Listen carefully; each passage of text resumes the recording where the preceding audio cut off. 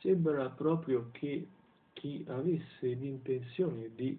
praticare l'autoerotismo o per meglio dire la masturbazione detto in termine più gergale lo potrebbe fare secondo quello che stabilirebbe la, il decreto LGS, il decreto legislativo numero 8 del 2015. Non ci sarebbe dunque più una condanna per atti osceni per effetto della depenalizzazione di questo reato. Contenuta all'interno di questo decreto legislativo numero 8, ripeto, del 2015, nei confronti di chi si apposta nei luoghi frequentati da ragazze per masturbarsi davanti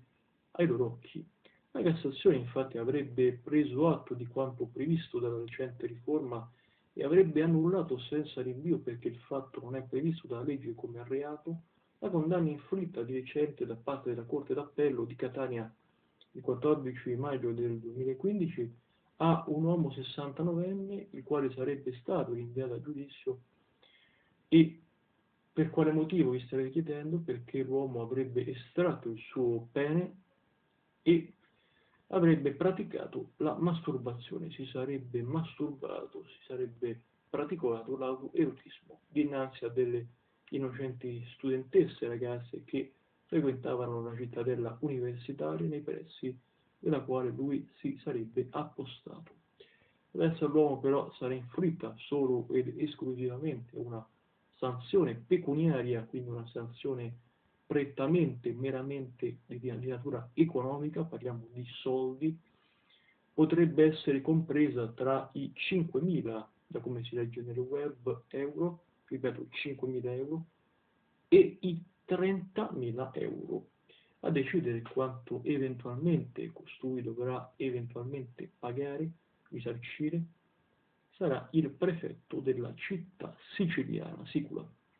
In primo e secondo grado l'uomo sarebbe stato condannato a tre mesi, che poi però sarebbero stati convertiti in una multa pari a più di 3.000 euro. Adesso però gli effetti penali attuati, attuati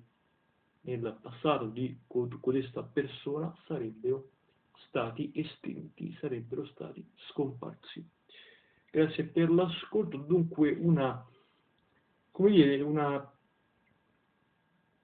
situazione molto particolare, penso che molte persone saranno rimaste sconvolte da questo decreto legislativo numero 8 del 2015 che di fatto depenalizzerebbe la,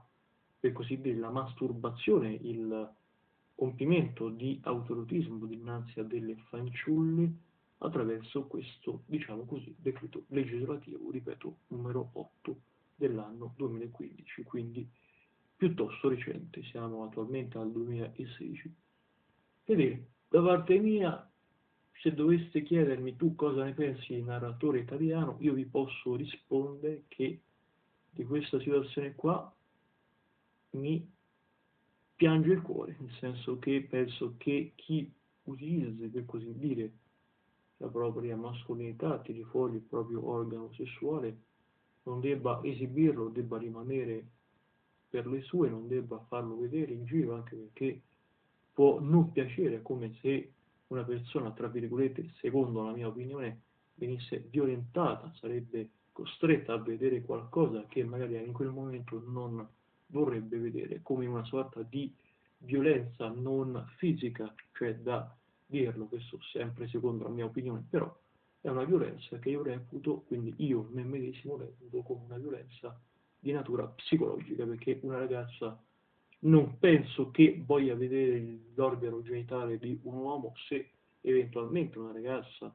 avesse la voglia, l'intenzione di vedere un uomo, lo farebbe, cioè l'organo di un uomo, il pene di un uomo lo farebbe sicuramente, come la penso io, nel letto dove si può consumare un eventuale rapporto sessuale, ma non certo nel pubblico e non certo così alla sinfasura. Bene, questo è quello che penso, iscrivetevi, commentate, questa è la mia semplice opinione, l'ho espressa come sancisce l'articolo 21 della nostra Costituzione, secondo cui ognuno è libero di esprimere i propri giudizi, le proprie opinioni, le proprie idee, nel rispetto degli altri, nel rispetto anche di quelle che vengono chiamate come le norme di colloquio e di buona civiltà. Bene, questo è quello che penso, ripeto, iscrivetevi, commentate e un caro saluto dal narratore italiano.